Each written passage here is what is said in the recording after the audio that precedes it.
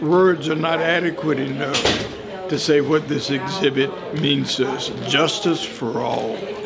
Justice for all simply means that when you say those words, that's an inclusive statement that simply means while our history is valuable, it is also an inclusive history that involves every fabric, every person in this city and in these United States. So when you look at an exhibit like that, it's not only just a remembrance, but it's a practical approach to what we're going to be doing next.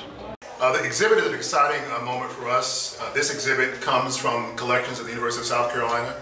Uh, it provides the public an opportunity to learn more about the civil rights movement in South Carolina. So when some, someone looks at the exhibit, they see photographs, they see newspapers, oral interviews, video footage of events in South Carolina uh, that most do not know about. And we're particularly excited to partner with the City of Columbia and Parks and Recreation uh, to make this exhibit available to the broader public, particularly here in the historic uh, Waverly community. Goal is to travel. So this exhibit has been on the USC campus. It's been in Sumter, South Carolina. It is now here in Columbia. Next week we go to Orangeburg, uh, South Carolina. We'll go elsewhere around the state as well. Uh, and ultimately the exhibit will have a permanent place at historic Booker T. Washington High School, a historic uh, African-American school only a few blocks from King Park. I think the impact is education.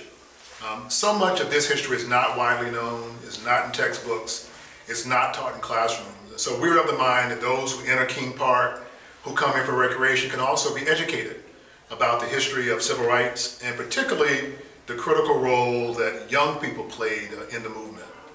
Thank you for allowing your legacy and what you've done for us, both you and I.S. Leevy Johnson to pour into us as Bobby Donaldson pours into all of us.